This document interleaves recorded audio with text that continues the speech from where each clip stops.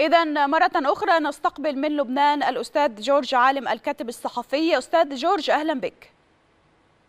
يا أهلا وسهلا. أستاذ جورج يعني ماذا عن تفاصيل حول هذا الانفجار الذي وقع بصيدا؟ الحقيقة ليست هناك بعض من معلومات مؤكدة. نتابع الحدث تباعا ثانية بعد أخرى. نعم. لمعرفه الأسباب والخلفيات. ما إذا كان هناك من مستهدف من هذا الانفجار وبالتالي أو أنه طبعا يعني ينطوي على عمل تخريبي حتى الآن ليس هناك من تفاصيل واضحة حول هذا الموضوع. طبعا الحادث يتابع على كل المستويات على المستويات الرسمية والشعبية. وربما طبعا الدقائق أو يعني القليل من الوقت سوف توضح الصورة أكثر. نعم ولكن أستاذ جورج هناك أنباء عن مقتل قيادي بحركة حماس في هذا الانفجار يعني إذا صحت هذه الأنباء وتوردت أخبار عن مقتل هذا القيادي بحركة حماس فعلا هل تبدو أنها يعني عملية إرهابية أو عملية تستهدف شخصا ما؟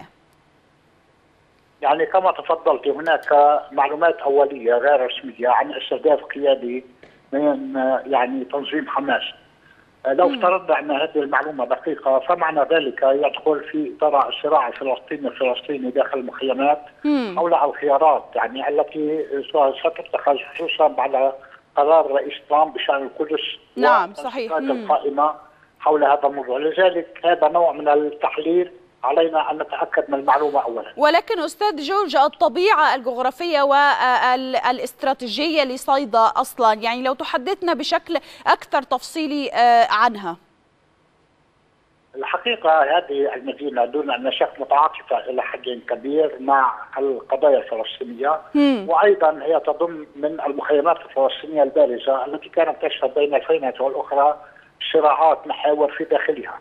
خصوصا بعد أن دخلتها بعض الأنظمة الإرهابية واتخذت منها أمكنة، لكن مم. الآن يعني الصورة مختلفة. إذا ما تأكد اغتيال هذا القيادي فمعنى ذلك أن الصراع ربما عاد فلسطينيا فلسطينيا